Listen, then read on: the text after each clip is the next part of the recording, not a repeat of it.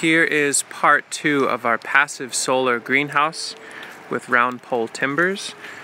Uh, does not look dramatically different from the first video, but believe it or not, I probably clocked around 16 hours of uh, pretty intense labor to get to this point.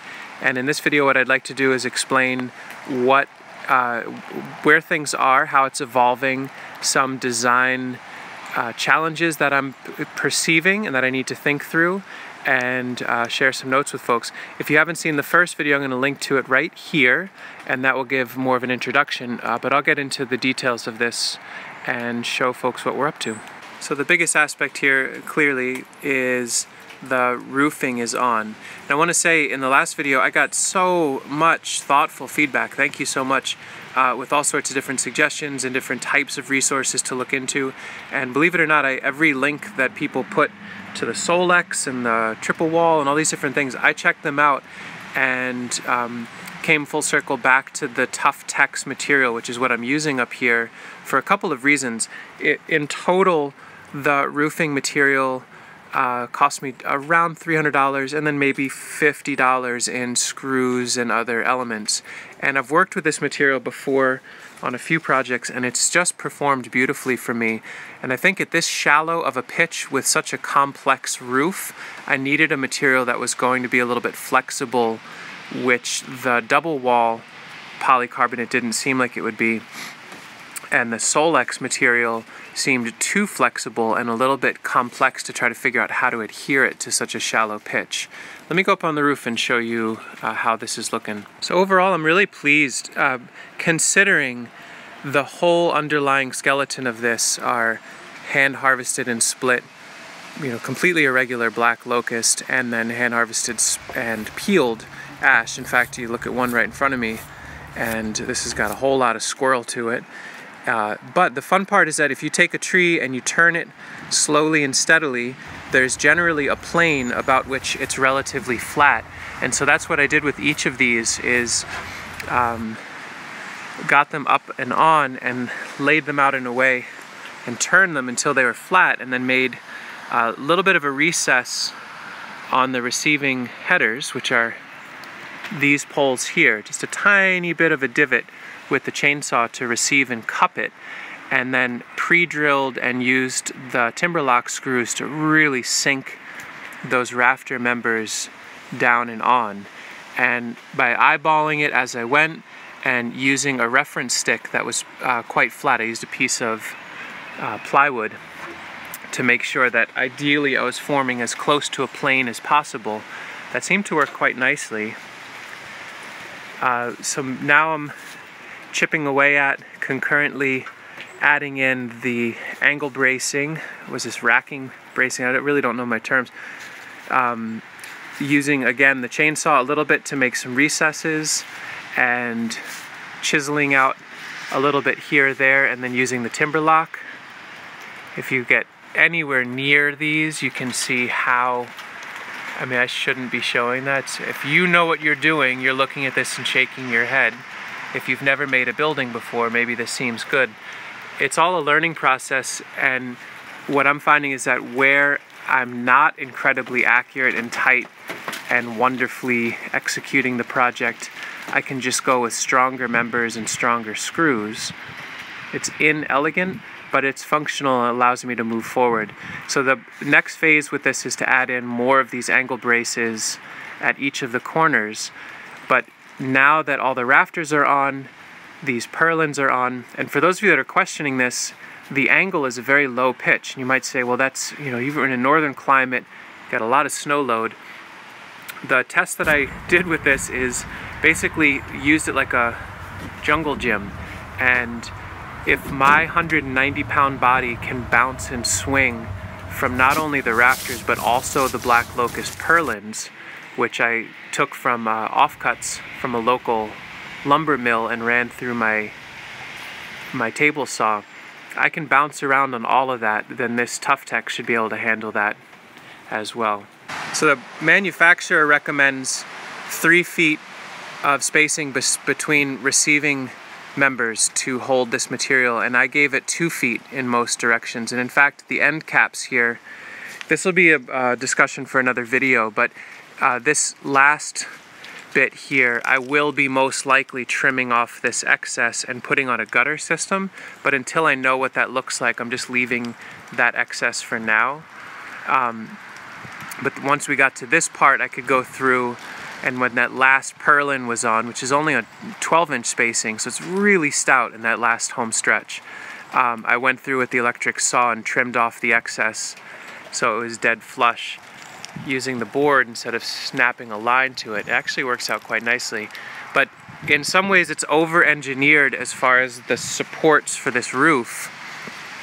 Um, so I'm pleased to have that on. There's still some details to finish on the west end there.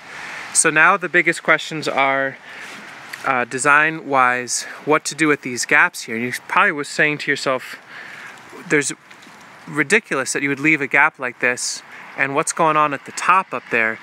Well, the reason for this is basically I wanted to challenge myself, but also from a uh, safety standpoint, not have this structure be coupled directly physically to the home.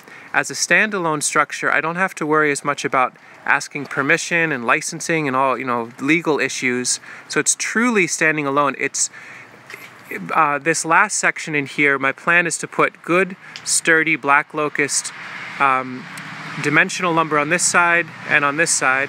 The house is kind of beat up over here anyway, so I want to cover that and put a baseline of hardware cloth from the ground all the way up to the top on our east side here and the west side. And then for the cold months, have polycarbonate like the roofing that mounts onto this to seal it, to air seal it. And then once we get into the warm months, because now the roof is fully clear, it's going to accumulate a ridiculous amount of heat if we don't allow it to ventilate actively.